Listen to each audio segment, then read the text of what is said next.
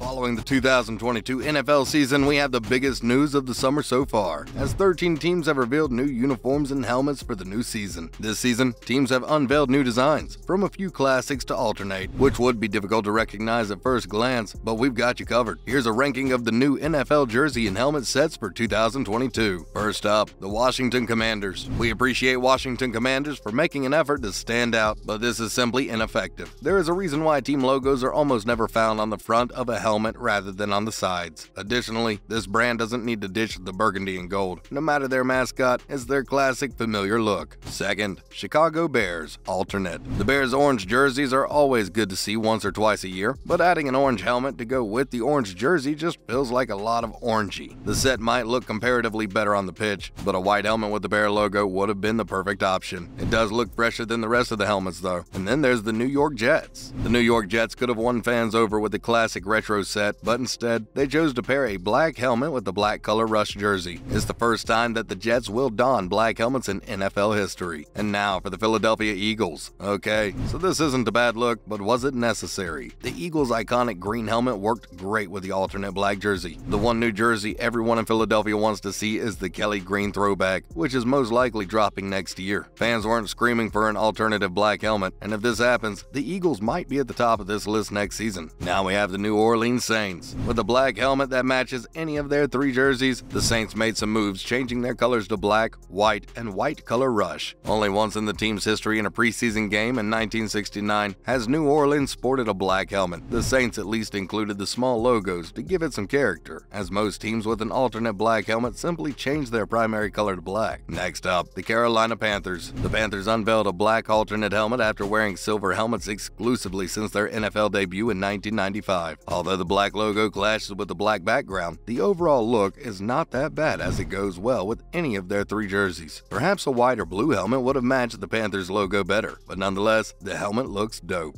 Next up, the Arizona Cardinals. Speaking of teams who needed new attire, let us introduce you to the Cardinals. Arizona's appearance has grown stale, with the primary red helmet mixing in with the all red bird logo. These new black helmets stand out because the logo now actually stands out when it is set against a black background, which is why they are new. The black helmets simply won't go away, do they? These helmets will be worn with black alternate and color rush sets. Guess it's time to embrace the darkness. Also, the Houston Texans. The Texans introduced their brand new battle red helmet, which will be worn against the Eagles on November 3rd, but it does appear durable enough to be worn more regularly than that. The Texans jersey are in desperate need of some punch. Since the team's creation in 2002, Houston hasn't once upgraded the uniform, but in 2022, they will finally add a fresh new helmet. The new battle red helmets stand out without any doubt, but the jerseys still need to be refreshed. The Texans red alternate jersey and the new helmet will be paired together in the upcoming season. And now for the New York Giants. The New York Giants will be donning their 80s 90s jerseys for two games this season. Even if wearing a different shade of blue for your helmet and jersey doesn't make much sense, the Giants managed to make it work.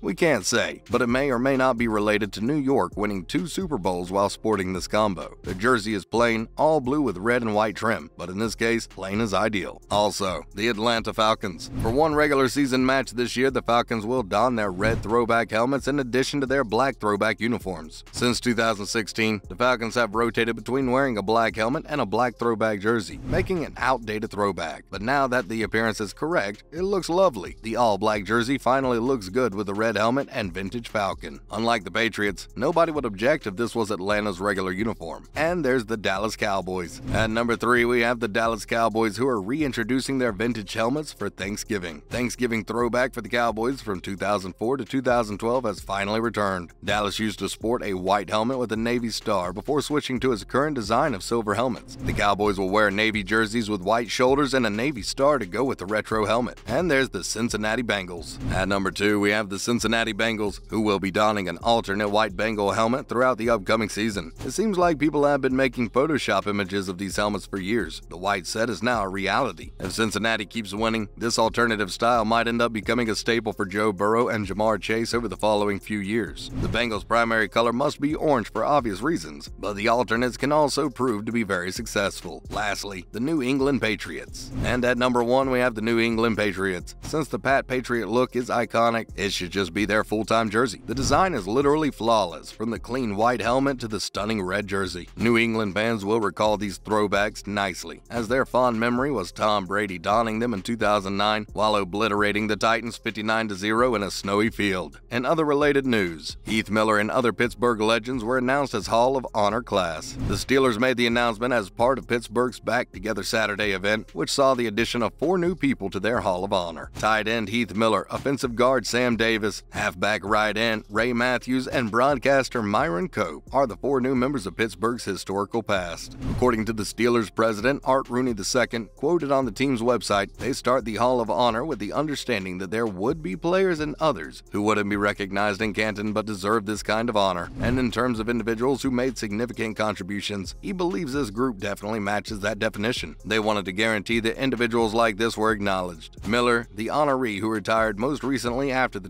2015 season, spent 11 years with the Steelers after being drafted in the first round of the 2005 draft. He was a member of the Super Bowl 40 and 43 winning teams and received two Pro Bowl nominations. His 168 regular season games were played to represent a team record for a tight end. Heath Miller retired with 592 receptions, 6,569 receiving yards, and 45 touchdowns in his career. Up next, Chiefs Frank Clark credits diet changes. Last season, Clark started all 14 games, recorded 4.5 sacks and two forced fumbles, and had the fewest sacks since his first year with the Seattle Seahawks. He only had seven tackles and zero sacks in the three playoff games he played last year, but he did record a tackle for loss and recovered a fumble. In order to go back to the form that saw him as one of the major contributors to the Chiefs' run to the Super Bowl at the end of the 2019 season, Clark knew he'd have to make a few changes to his lifestyle this summer. The two biggest adjustments, according to Clark, were giving up alcohol and cutting red meat from his diet. Since at least 2018, when he was a player for the Seahawks, Clark had experienced persistent stomach problems, and he recognized their likely cause when they returned this offseason. A stronger sense of responsibility to the family also encouraged such dedication. Clark was motivated to improve himself to show his family proper behavior. He claimed he had been drinking excessively for years and had been for years. And lastly, NFL streaming service launches for the new season. The National Football League now has its own streaming service. They are launching NFL Plus for $4.99 per month or $39.99 per year. All out of market preseason games, which were previously only viewable with an NFL Game Pass subscription for $99.99 per year, will be included in a subscription. The Jacksonville Jaguars take on the Las Vegas Raiders to open the NFL preseason on August 4, but the game won't be on NFL Plus as it will be televised nationwide. Additionally, NFL Plus will offer live mobile device access to the regular season and postseason local and primetime games that were previously free on the Yahoo Sports app. NFL Plus is the first time the NFL has run its own streaming service, providing the organization with a potential new platform for the future broadcast of exclusive games. That's all for this video. What do you think about teams donning alternate and classic jersey sets for the new season? Let us know in the comments below. And remember, don't forget to like this video and subscribe to our channel for more exciting content in the future. Thanks for watching. See you next time.